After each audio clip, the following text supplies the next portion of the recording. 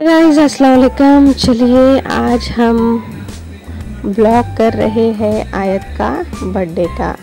देखिए, आयत के लिए मम्मी ने फ्रॉक गिफ्ट लेके आए। उसके लिए सरप्राइज़ देने के लिए मैं यहाँ पर लटका कर एक वीडियो और आपके लिए एक अच्छा सा ब्लॉग बना रही हूँ।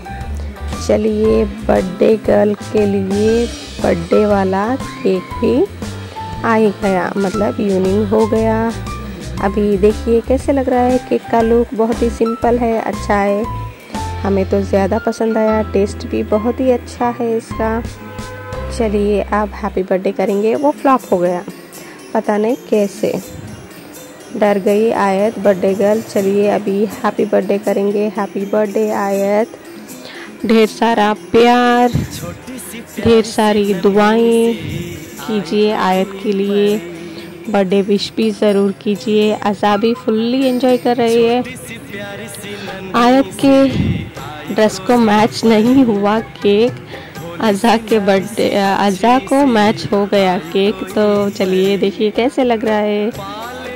चलिए, पापा के दो परियाँ, मम्मा केक कट कर रहे हैं। मैं, मैंने सोचा आपके लिए एक सा ब्लॉग बना ही लूँ मैं।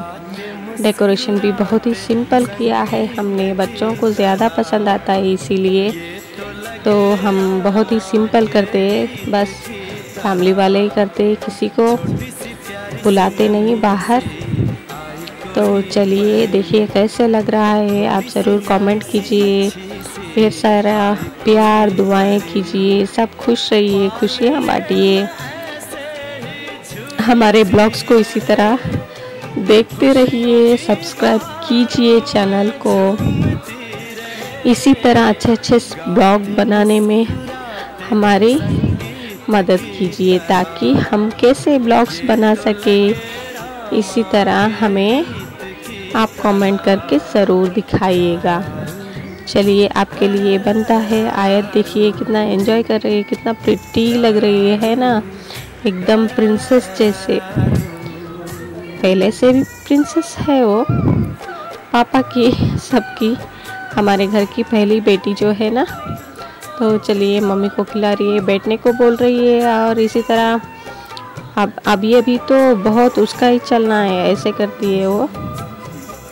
कोई बात नहीं बर्थडे है, कर लेने देंगे। देखिए ऐसा कैसे मस्ती कर रही है। चलिए हम तो भाई बहुत ही एंजॉय किए बर्थडे के दिन। आप भी एंजॉय कीजिए डेकोरेशन देखिएगा ज़रूर। इसमें लास्ट ईयर बर्थडे का जो था वही हमने लगा दिया यहाँ पे। तो थोड़ा थोड़ा फ्लाफ भी हो गया वो। पर कोई बात नहीं। नेक्स्ट ईयर न्यू वाला लेंगे हम आयत के लिए अज़ा के लिए है ना? अभी तो यही चला देंगे। कोई भी सामान या कुछ भी एक्सेसरीज होता है तो वेस्ट नहीं करना चाहिए है ना? एक दिन के लिए क्यों वेस्ट करना चाहिए है ना भाई? चलिए बहुत ही सिंपल डेकोरेशन खाए चलिए एक दूसरे को खिला रहे हैं। आयत का डिमांड ज़्यादा है। क्रीम निकालिए वो निकालिए ये निकालिए। डेकोरेशन ऐसा चाहिए बलून्स वैसे चाहिए करके। लगता है शायद डाइटिंग पे है। चलिए, पापा को खिला रही है।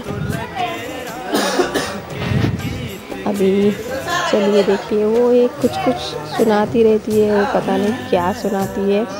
चलिए, उनके बाबा भी आ गए क्रीम नहीं चाहिए मुझे। ऐसे बोल रही है। देखिए, कितना डिमांड है इसके।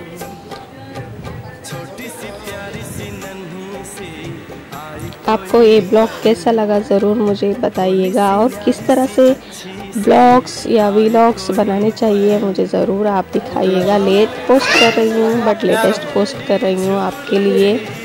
तबीयत ठीक नहीं थी मेरी की तो लेट होके ही पोस्ट आ गया आपके लिए। इसके लिए माफ़ी चाहती हूँ। और देखना ना भूलिएगा मेरे ब्लॉग्स को रेसिपीज़ भी ऐड कर लेती हूँ। बर्थडे ब्लॉग्स घर के ब्लॉग्स हर एक चीज़ को आपके साथ शेयर करना मुझे अच्छा लगता है। आप भी मेरी फैमिली ही हो। है ना? चलिए, देखिए कैसे एंजॉय कर रहे हैं सब लोग। जल्दी जल्दी खिला रही भी नहीं, वो बातें ज़्यादा कर रही है। चलिए, मामा के साथ ये लोग एंजॉय करते हैं हमेशा। मेरे साथ ही थोड़ा नहीं करते। चलो देखिए, कैसे कर रही हैं।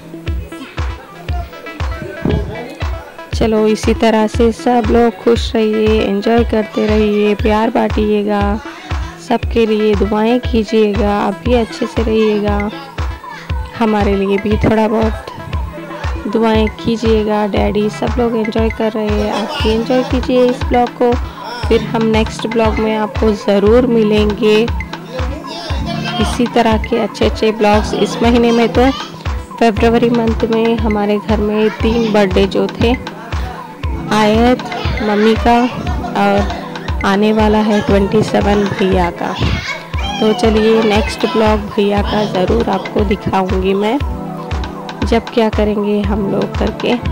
चलिए अभी आ गई डैडी की।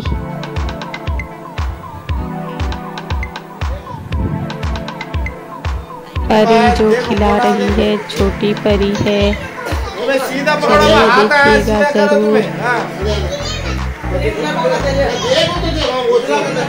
कितनी मस्ती कर रही है है ना?